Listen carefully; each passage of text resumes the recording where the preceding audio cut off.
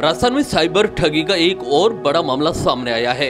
यहाँ Jaipur cyber crime branch ने ढाई करोड़ की ठगी मामले का खुलासा करते हुए शातिर आरोपी को गिरफ़्तार किया है। गिरफ़्तार ठग नीरज सूरी ने फेसबुक पर एक महिला से दोस्ती कर उसे 3.9 मिलियन डॉलर यानी ढाई करोड़ की संपत्ति का वारिस बनाने के नाम पर ठगी की। पुलिस ने आरोपी को देहरादून से गिरफ़्तार किया है। पुलिस के अनुसार मामला सवाई माधोपुर से जुड़ा है।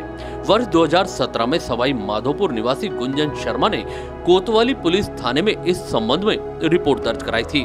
उसके बाद पुलिस महानिदेशक के आदेश पर जयपुर साइबर क्राइम पुलिस ने लंबी जाँच पड़ताल के बाद मामले की तह तक पहुँची और आरोपी को गिरफ़्तार किया है।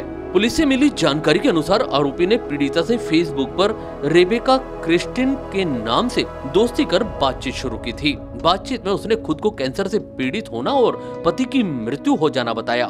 आरोपी ने महिला को बताया कि उसके परिवार में कोई नहीं है और उसके पास ढाई करोड़ की संपत्ति है। उसे वह महिला के नाम करना चाहता है। आरोपी ने चिकनी चुपड़ी बातें कर महिला को पूरी तरह से अपने जाल में फंसा लिया। आरोपी ने महिला को कहा कि उसका वकील बार मैक्स और भारतीय प्रतिनिधि बेन जॉनसन आगे की प्रक्रिया के लिए उससे संपर्क करेंगे। उसके बाद पीड़िता के पास फॉरेन एक्सचेंज डिपार्टमेंट की तरफ़ से ईमेल आया।